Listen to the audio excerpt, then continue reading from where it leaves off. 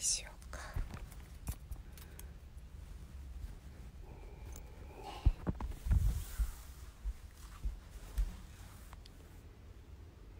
みんな今日は金曜日でしょ？明日土曜日でしょ？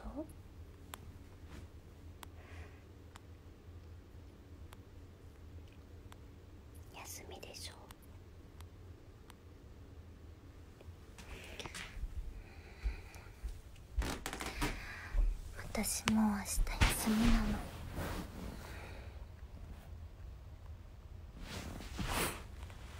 それで。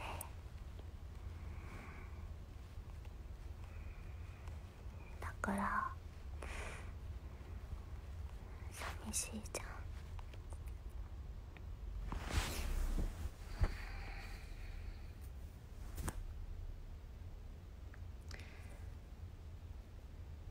明日からね。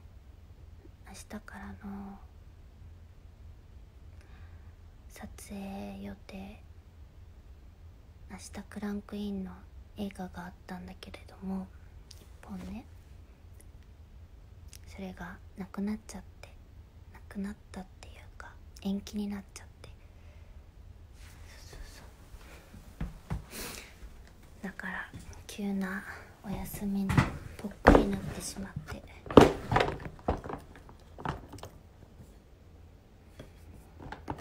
ね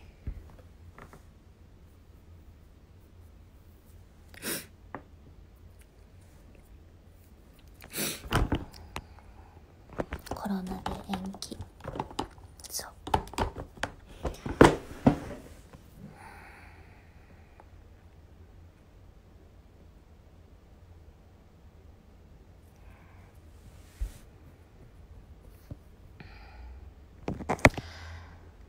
急に延期になっちゃったもんだからさ。うん。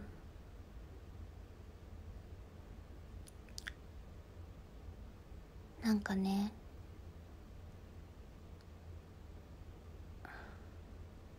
昨日まですっごく忙しくって、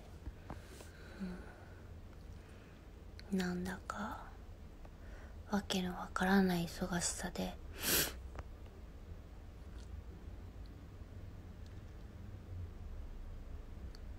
それはそれでちょっとパンクしてたりしてたんだけどでも急にぽっかりなくなっちゃってそれはそれでなんかどうしていいか分かんなくなっちゃって。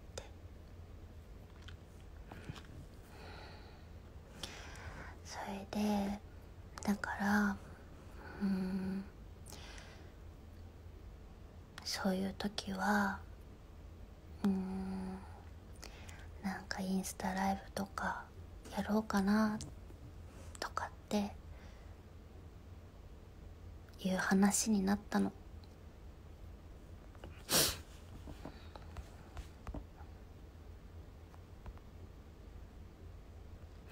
ね。いつもだったらねどっか行くんだけどね。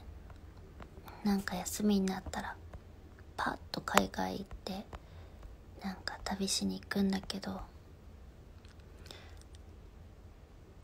ね。でも今はどこにも行けないでしょなん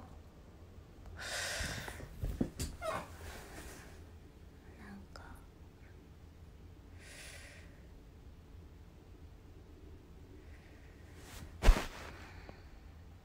今日も休みだったの。今日はもともと休みだったの。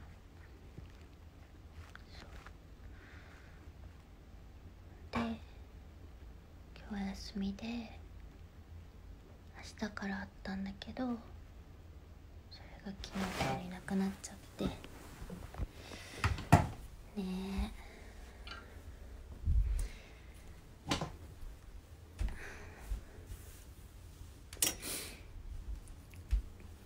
だからみんなおしゃべり相手になってってい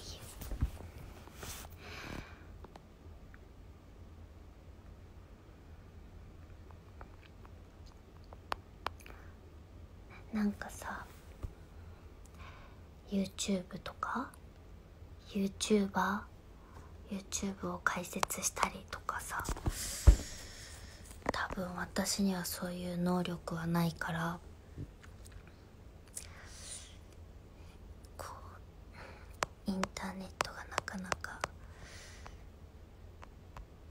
なかなか苦手なもので疎いものでやってみたいんだけど。そうだからこうやってちょっと。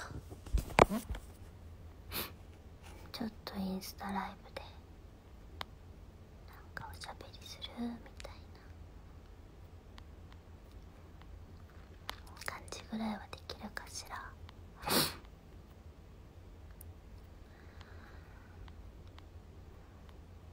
うんだってさは家族もいないし一人でしょ？友達とかもいないでしょ？で仕事がなくて。って言ったらさ本当に一人でさ。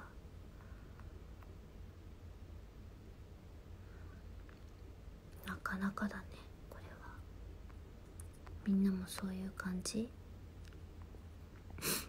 うん。一人寂しいよ。やっぱりね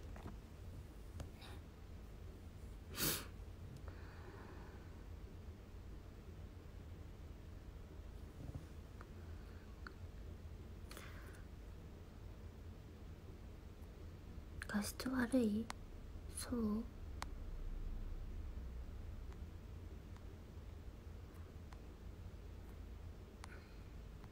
だからおしゃべり相手になってください皆さんあゾウさんのぬぐぬいぐるみ見たい？ゾウさん今どこ行ったんだゾウさん今ベッドにいた。よいしょ。はい。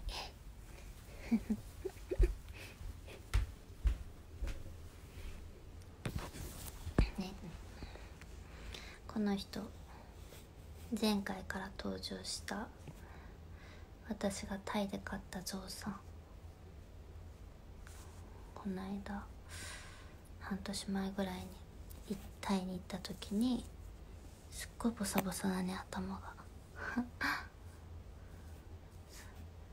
そうタイに行った時にねこの人がなんか手作りで売られててなんか家族で屋台に売ってたのこの子が。もうさたまらないでしょこの顔。見て。この離れた目。あとこのこれ。これ。これがもう止まらなく可愛くってさ何この帽子と思って。でもこの子は絶対呼んでると思ってね。ちょっとつい買っちゃったんですよ。ぬいぐるみとかそんな買うタイプじゃないんですけど。ね。この人。外傷ょ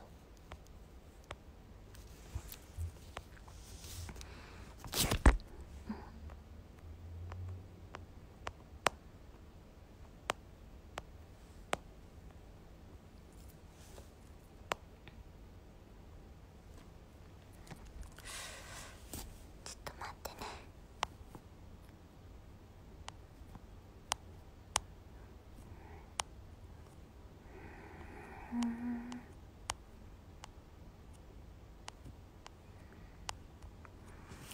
よいしょちょっと待ってね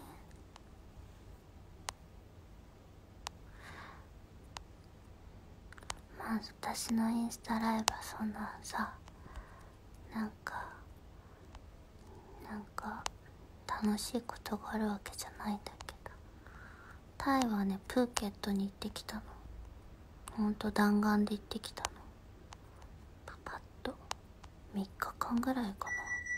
あ出た。お風呂が。いつもお風呂が沸くんだよね。そうそう。お風呂を沸かす時にいつもインスタライブしてる気がする。あネットフリックスでホリデーラブやってるの？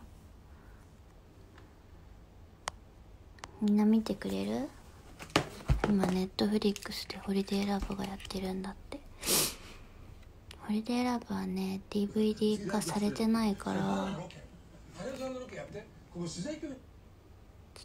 てね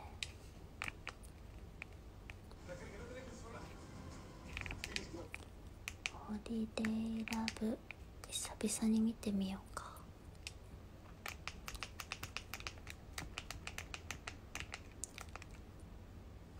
ホリあった。おほ出てきた。ホリデーラブ。見るいじゃん。あ順平さんに迫ってますね見てみましょうか画質が変？そうど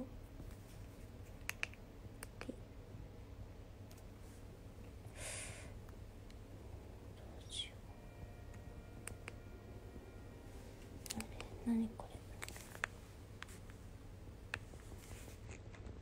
ちょっと待ってね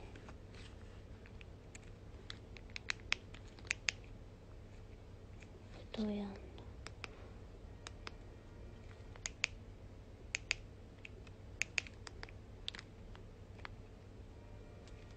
よくわかんないとりあえず流してね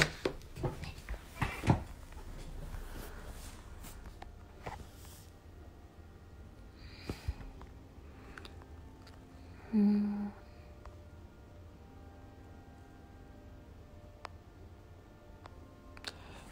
エッグエッグ時代多分エッグに出てたと思うんだけどちょっとわかんない。エッグかエッグ的なエッグ的ななんか雑誌に出てた。えこの子の名前？この子の名前ないよ。ゾウ。このゾウの顔の名前か。名前はねにいらないかな。ゾウでいいかな。ゾウ乗ってないの。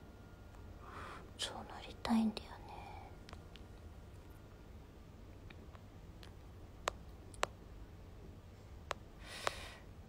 えーっとね。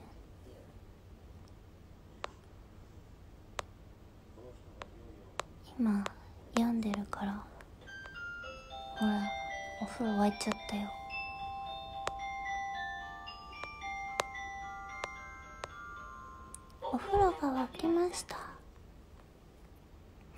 画質が悪いの？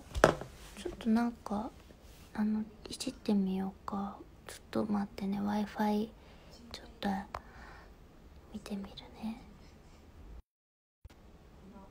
ああ多分いいはずだった。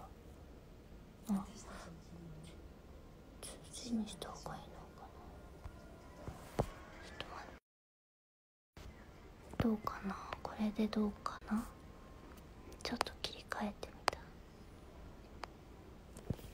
UNEXT っていうのでもホリデーラブやってるの？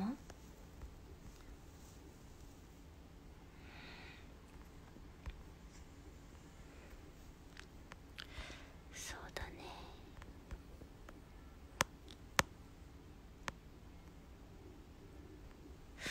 なんでだろう？なんかなんかさうん。こんなこと言っていいかかんないんだけどこの間みんなが画質悪いとかって言ってて盗聴器仕掛けられてんじゃないとかって言うからさ怖くなってね盗聴器発見器買ったの。買ったのね。それでさ一応これなんかアンテナが伸ばせるやつでいけ待って待っていくよそたらさすっごいピーピーなるわけ。ん？い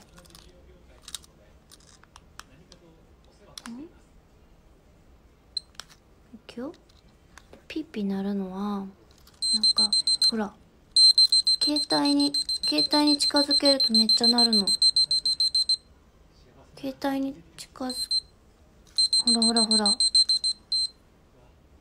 これ携帯の電波がそういう風になってんだよねきっと。携帯に盗聴器ってないでしょ？わかんないんだよねこれなんか。ピピピピ。あここも鳴るんだけどよくわかんない。いろんなとこがピーピーなるからなんかわかんない。なんか電気のさほら盗聴器仕掛けられてるわけないと思うんだけどちょっと怖くなって買ったらさなんかさ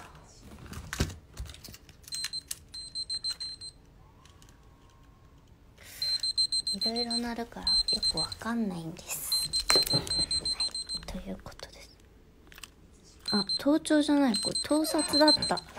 盗撮がすごいなってる。今これが動いてるからかな。盗聴でもなる。多分ずっとなるんですねこれは。大丈夫です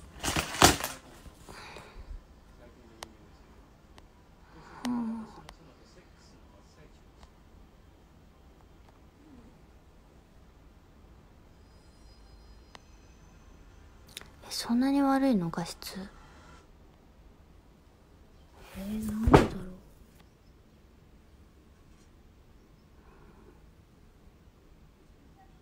他のライブの人も悪いんだ。多分そうだね。きっとさみんなインスタやってるから。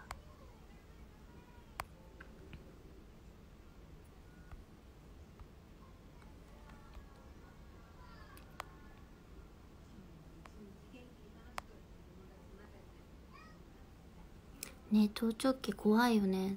私もさ盗聴え盗聴されてると思ってすっごい怖かったんだけど。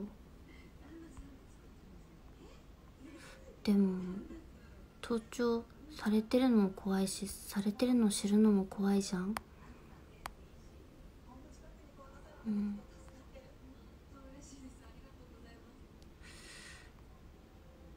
うん。ね電波出てるからそうなっちゃうんだよね。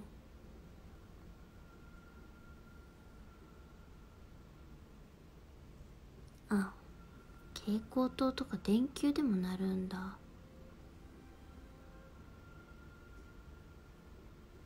なんかさあの「ほんまでっか TV」ねこの間少しだけあの「ほんまでっか TV」であのなんか霊視をしてもらったのね。玉木宏吉さんと。そしたらなんか私のなんか2人ぐらい強い念を持ってる人がなんか中に入り込んでるって言うから全然思い当たらないんだけどなんかそれにみんなが盗聴されてるとか言うから盗聴器買っちゃったよね。買っちゃったけど全部になるからもうよくわからないっていう。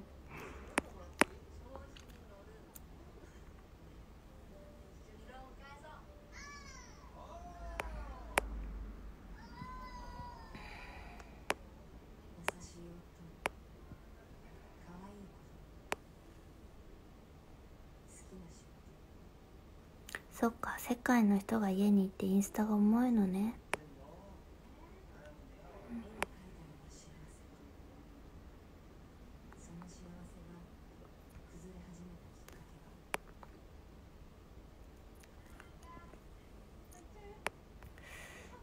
じゃあさこれが今読むのが終わったらねとか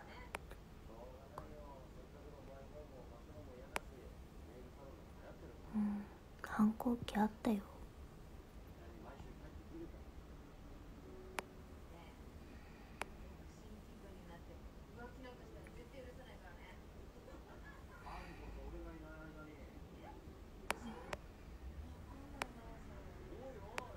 ちょっと待ってね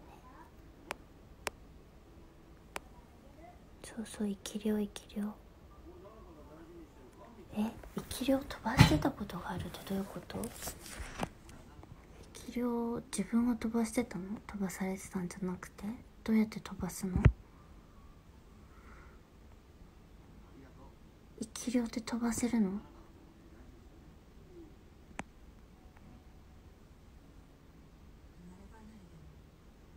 アイシャドウ何使ってるって今何も使ってない。今今日は。今日は一日何にもしてません。お休みだった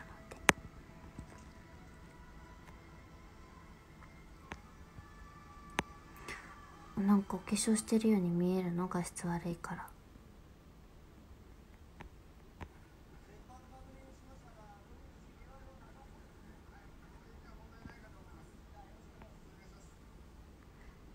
YouTube で FF 実況やってほしいです」えー、難しいよ。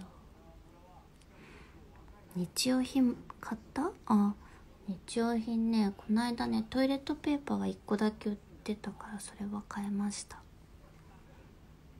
なんか業務用みたいなやつ。1個売りだったの。え念じれば飛ぶ。生き量飛ばしてどうするのえ生き量生き量は無意識。生き量さ飛ばすとどうなるの？人に。なんかさ好きな人に「好きだ好きだ好きだ好きだ」って言って飛ばしたら好きになってくれるの？そういうわけじゃないでしょ。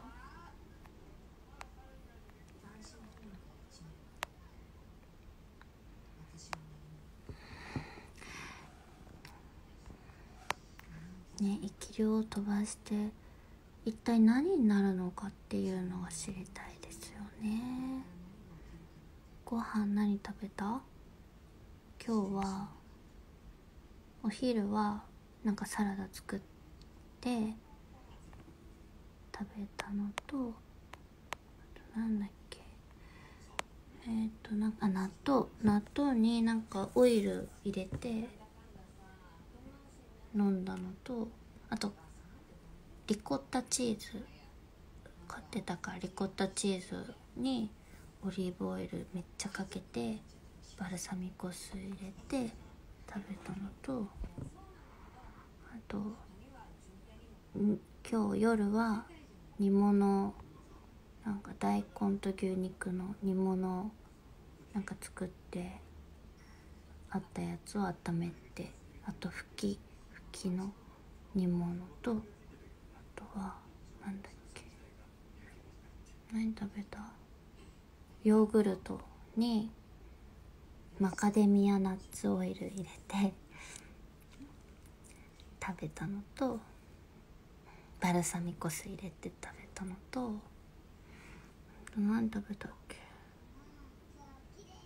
なんか食べたけど忘れちゃったちょっと待って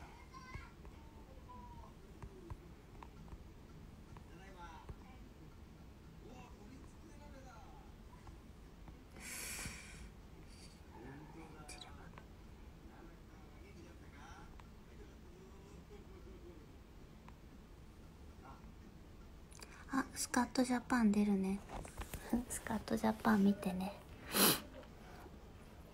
すっごいイラッとすると思うけど。最近すごいイラッとするような役ばっかりやってた。バラエティーで。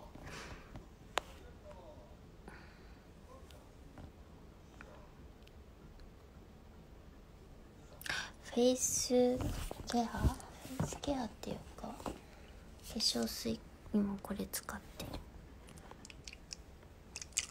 これはコスメキッチンでちゃんとアチャームの一番お手頃な価格のやつです、はい、ああとねすごいいいあのいい香りのオイルを買ったの塗ってみようか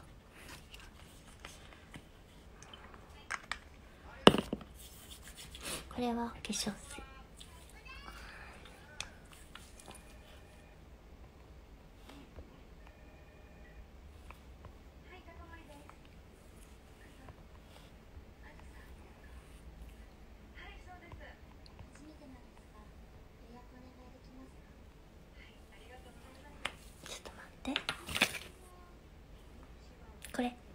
オイルこれがねいい匂いがするのよ、うん、はあいい香りうんこうやって首まで。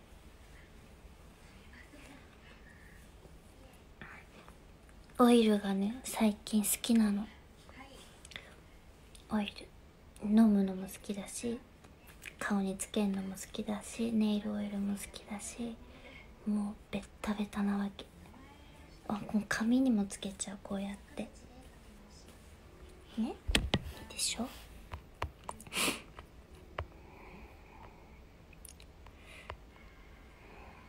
香水は使ってません。香水はねないな。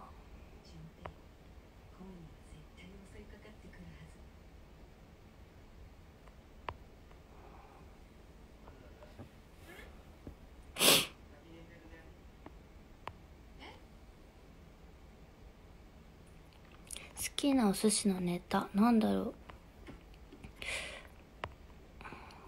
イカとかアワビとか好き。アナゴ好き卵好き。えー、ちょっとやだみんな生き量飛ばさないで。なんか怖い。そんな生き量ってさわかんないけどなんか怖くない？でもなんかこうみんなのみんなのなんかあのいい生き量はいっぱいいたみたい。ファンのファンの人の。でなんか玉木宏さんにはすごくあの男性からも女性からも性的な目で 見られる生き量がついてたんだって。だからなんかみんな男性からもセクシーだなって思われてる生き量がついてた。だけど私にはそういうのはない。性的なものはないですって言って待っててくれたちょっと待って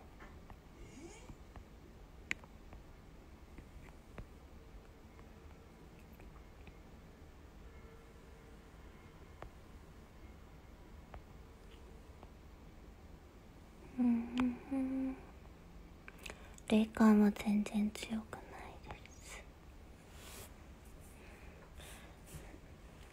量。生き量。いい生き量だったらいいな。ね。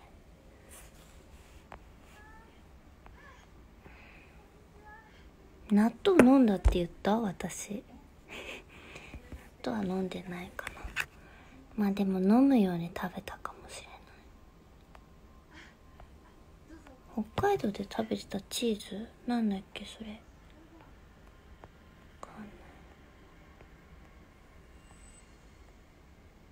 うん。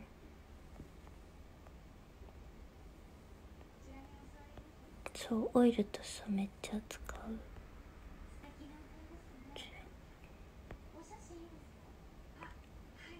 うんあざとくて何が悪いの？っていう番組にも出ますよ。それもすっごいイラッとする。イラッとする。あざとい役です。イラッとする役は別に嫌じゃないですよ。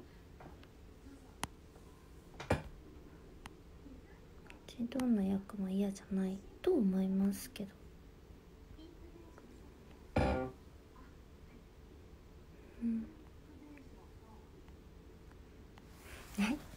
本当だ。めっちゃいい匂いって匂い嗅げないでしょ。パジャマっていうかなんかなんか上着。まあ、ヒートテックの上にこれ着てるだけ。上着っていうかパジャマの上着。うん。どんな匂いってなんかお花の匂い。そうお風呂の前にはしないよ。あリナ登場したよ。見る？リナ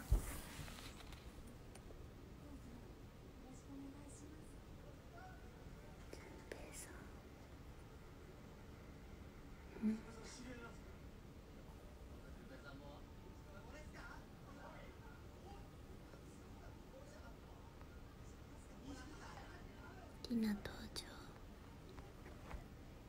でしたすごいねこの人追ってきちゃったんだもんね。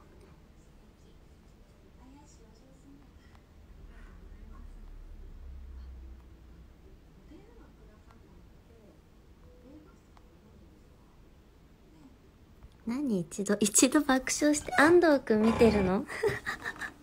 安藤正信さんが見てます今。一度爆笑してってそんな一人で笑えるわけないでしょね安藤くん変なこと言わないで。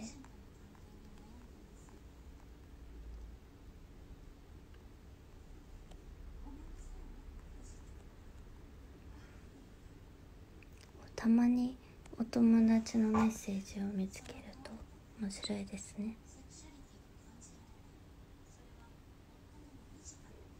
でもほとんどほとんどお友達が見てないっていうかわからないけど。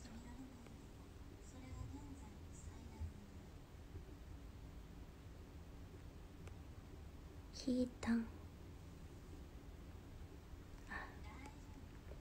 あざとくない役見たい？やったよこの間 NHK で。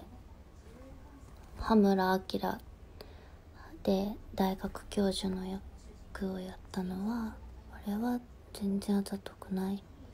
だと思うけど。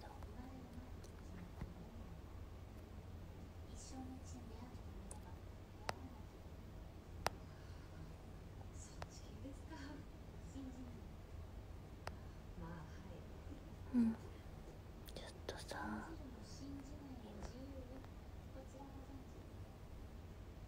あパンダの番組見てたの？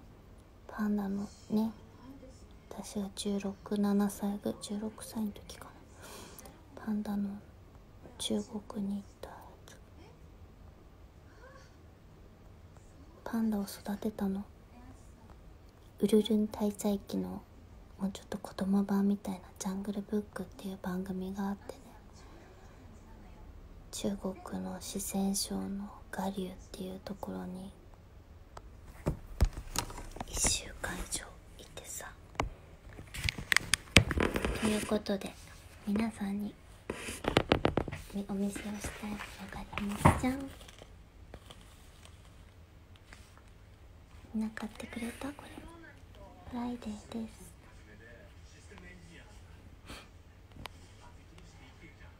生霊は人の魂が興奮することによって生じ飛ばされる興奮したり感情的になり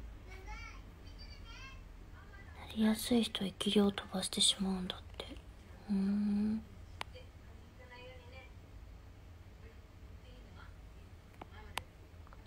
スカットジャパンにも出ますよ。来週？今週？そうフライデー。フライデーですよ。見る。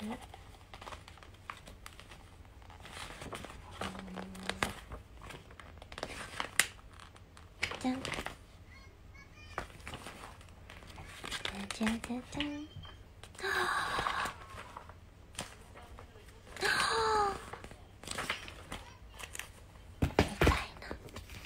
あとはなんかこういうミニブックとか12ページぐらい入ってるんで表紙とね。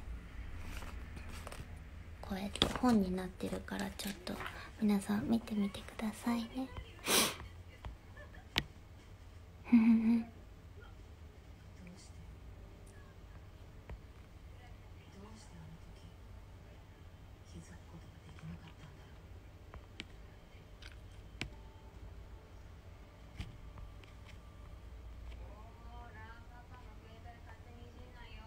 うん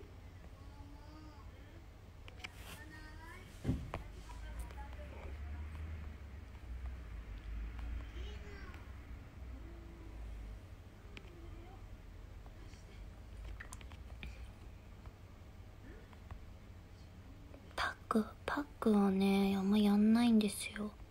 保湿は保湿はほんとお化粧水となんか乳液とこれはまあ新しいオイルでしょ。あとはこのバーム？なんかこれもなんかすごいハーブハーブファーマシーのバームなんだけど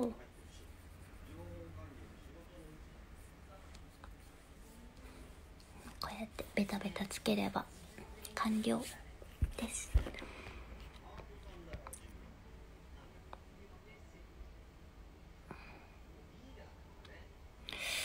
明日はドラマのロケはありませんじゃあみんな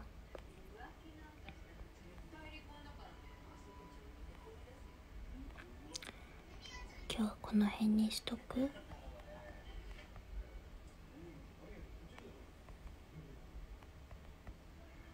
ん。ちょっとねすごい。私はロングスリーパーです。うん。すごい寝るの。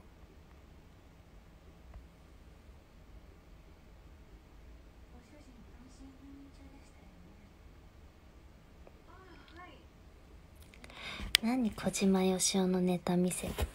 そんなの関係ねえ。そんなの関係ねえ。ん？違う違う。ハーブファーマシー。ハーブ。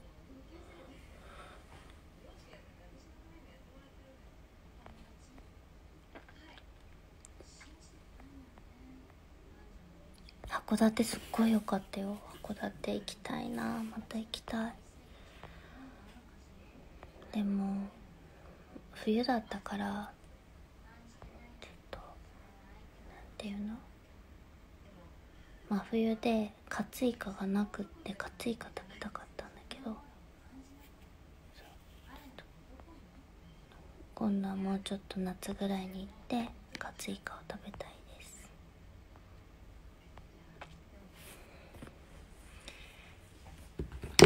この間のシャンプーはこれです。センス・オブ・ユーモア。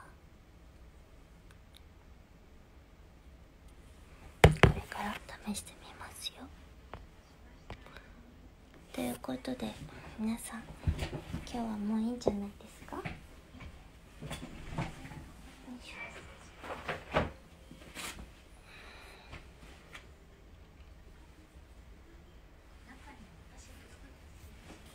はーい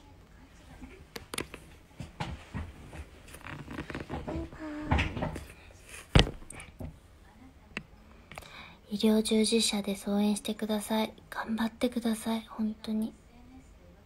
うん。ね。リュックの名言「トタギ愛してる。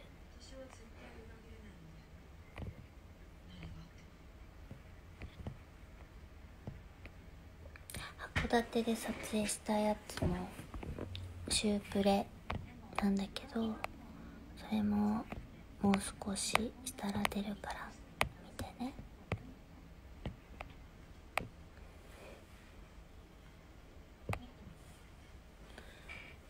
なんか知り合いがねこのインスタライブを前回のインスタライブを見ててこのゾウと一緒にさインスタライブしてたのを見てたらしくって。すごい。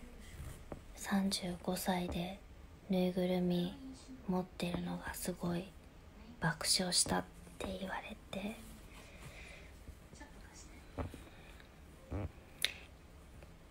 まあですよねって思いました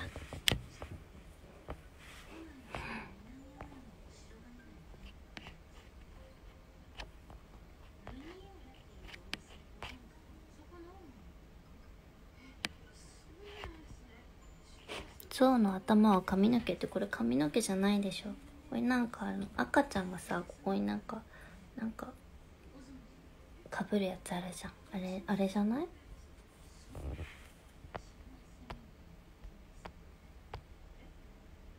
いうことで皆さんさようなら。バイバイ。またね。みんな元気でね。あんまり落ち込まないでね。私も落ち込まないように頑張る。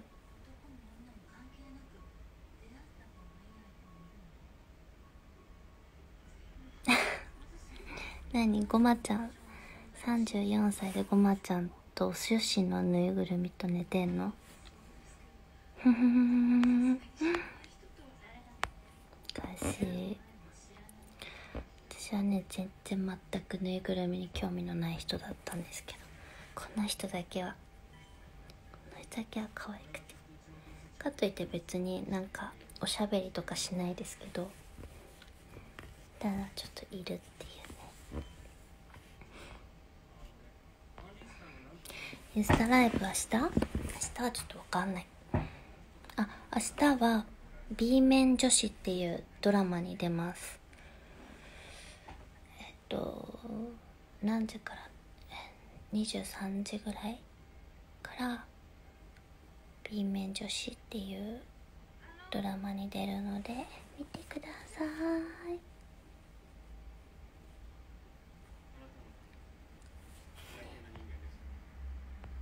うん。じゃあ頑張ろう明日も。じゃあね。バイバイ。お休みから長いよね。じゃあねバイバイ。